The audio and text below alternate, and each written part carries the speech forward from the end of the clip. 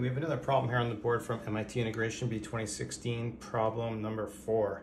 It kind of looks intimidating, but it's actually not too bad.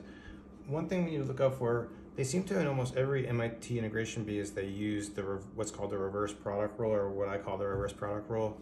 I think the signature of the reverse product rule is we always have, notice this could be split into two integrals. So we have it basically split on addition or subtraction.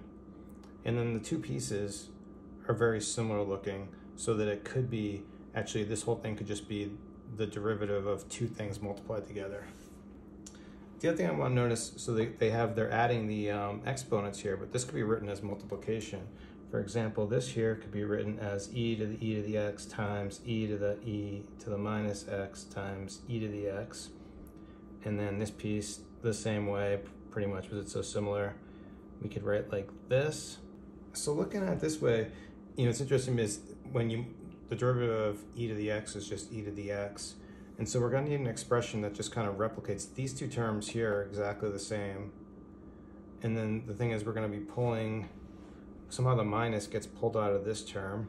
So I think what I'm gonna try is, let's look at what happens. Let's consider our u equal to this and just see how that goes. So doing that, and again, of course, because we got two things, we're gonna be using the product rule. So we'll get the derivative of this first term is gonna be e to e to the x, but then we need to use the chain rule and we'll get an e to the x, which I'll put there.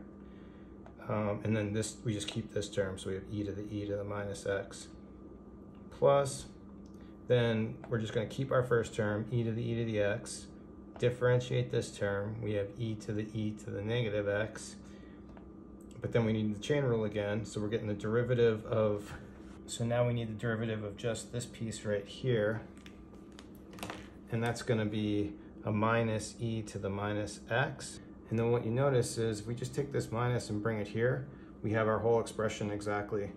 So doing this, what we have is our whole thing is just gonna be du, or one times du. So we're just integrating one, essentially.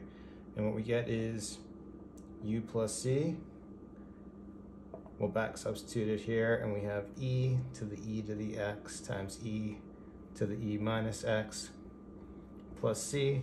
But I think what I'll do, just to be polite, we'll write it the way they had it originally.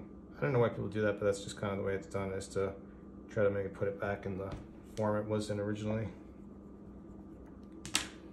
And that's it, MIT Integration Bee 2016, problem number four. Thanks for watching. Please like and subscribe.